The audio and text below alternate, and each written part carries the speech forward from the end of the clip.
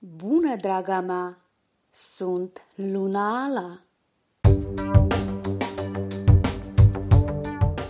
Pe vărsători așteaptă o lună minunată din punct de vedere financiar. În sfârșit vei respira adânc.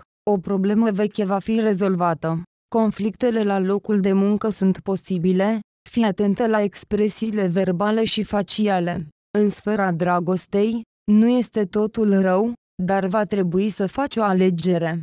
Dragoste. Vărsătorul care a reușit să se lipească de o familie va avea treburi prin casă, gospodărie. În cele din urmă, să decizi dacă îți vei schimba locul de reședință. Astrele te avertizează asupra unui posibil conflict pe plan intern. Dacă există o ceartă majoră, atunci fă efortul să devii inițiatorul reconcilierii. În martie, este posibilă și o întrerupere completă a relațiilor din cauza unei neînțelegeri, totul este ca de obicei în mâinile tale. Reprezentanții singuratice semnului nu vor fi prea aproape de dragoste. Ai pretendenți, dar ei nu se potrivesc deloc în planurile tale.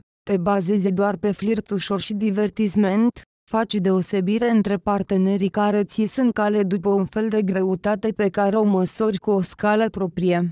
Dacă nu ești de acord cu obligații, atunci nu da speranțe false. În prima jumătate a lunii, dedică timp prietenilor. Prietenia este foarte importantă pentru tine, mai ales că există candidați buni și loiali care nu te vor părăsi în momentele dificile.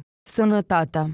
Într-o poziție vulnerabilă, în această lună de primăvară va fi sănătatea psihică. Orice lucru mic te va dezechilibra.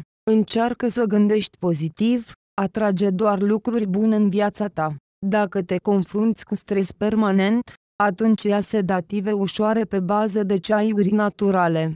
Sub nicio formă nu-ți recomand ceaiul de cânepo. Lipsa de soare poate fi completată prin luarea vitaminei D. Nu ignora starea de migrenă, deoarece poate ajunge la depresie. Cauteți un animal de companie pentru a-ți face o stare de spirit pozitivă. În martie, riști să faci răcel și printre care și nenorocită de gripă mondială, fii atentă la aglomerație. Dacă cineva din gospodărie este bolnav, atunci izolează-te și utilizează echipamente de protecție. În cazul tău, riscul de a câștiga complicații din orice răceală este foarte mare. Este mai bine să nu planifici operații chirurgicale în prima jumătate a lunii. Acum este o probabilitate mare de eroare medicală. Alege în mod responsabil clinica și medicul unde intenționezi să faci tratamentul. Banii. În muncă, vărsătorul ar trebui să fie creativ. Noua abordare îți va permite să-ți îmbunătățești situația financiară și să eviți problemele. Dorința de a face mai mult va fi remarcată și de șeful tău, care nu te va lăsa fără atenție. Călătorile pe distanțe lungi sunt probabile. În martie, va exista oportunitatea de a crește în funcție, trebuie să arăți perseverență și să nu cedezi nimănui în această chestiune. Problema financiară poate deveni acută pentru vărsător. Ești disciplinată cu banii? Planifică-ți cheltuielile și evită situațiile riscante și capriciile. Dacă dorești să investești, asigură-te că te consulți cu un avocat.